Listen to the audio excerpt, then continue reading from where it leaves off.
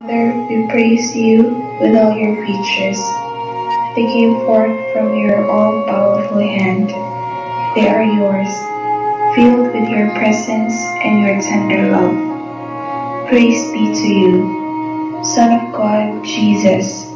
Through you all things were made. You were formed in the womb of Mary, our mother. You became part of this earth, and you gazed upon this world with human eyes. Today, you are alive in every creature.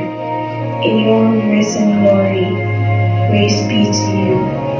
Holy Spirit, by your light, you guide this world towards the Father's love and accompany creation as it grows in travail.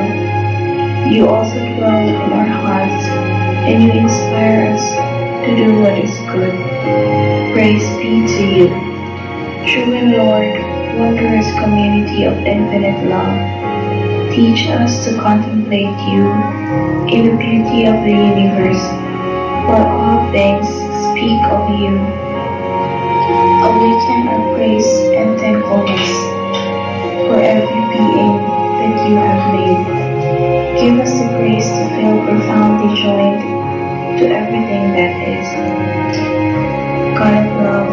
Show us our place in this world as channels of your love for all the creatures of this earth, for not one of them is forgotten in your sight.